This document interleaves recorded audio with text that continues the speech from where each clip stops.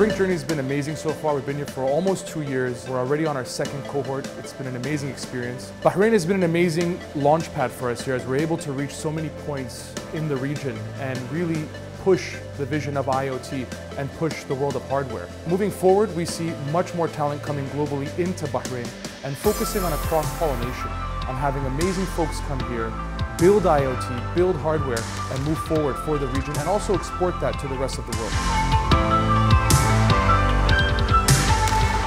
Today, Brinc definitely brings a lot to the region. It will definitely encourage a lot of the entrepreneurs, specifically that want to get into the IoT aspect to get an opportunity to tap into the resources that Brink to the table, uh, specifically with its affiliation with Greater Bay China.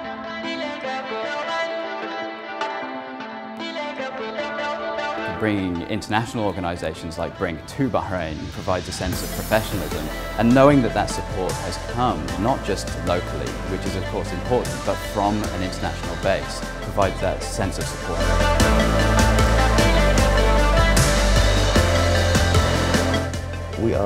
An, industrial Internet of Things company in the energy sector. And what we do is we uh, monitor the health and safety of uh, energy pipelines. I started my journey about 25 years ago in the Silicon Valley, and this is my third uh, uh startup. We came across the Internet of Things uh, probably about three or four years ago, developed a stealthy technology, and now it's time to show it to the world. So that's why we're here in Bahrain.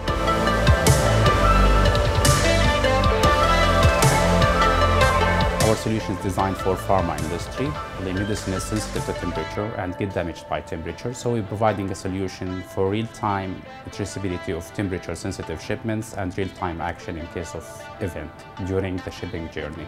Brinc is, is, is was a strategic uh, choice. It is uh, the first accelerator in its uh, kind in the MENA region that concern about startup that uh, solving IoT problems with hardware and it has a, a, good connection with China, their branch in China. So this is a, a bridging the gap uh, for hardware manufacturing process, uh, which is uh, not familiar in this region.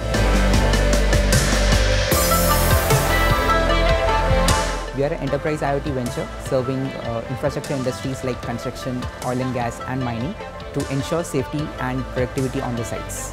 Brinc has been uh, very good so far but uh, giving us lots of mentors, lots of uh, business connects as well in ensuring that uh, we develop and accelerate as a business in a really short span of time.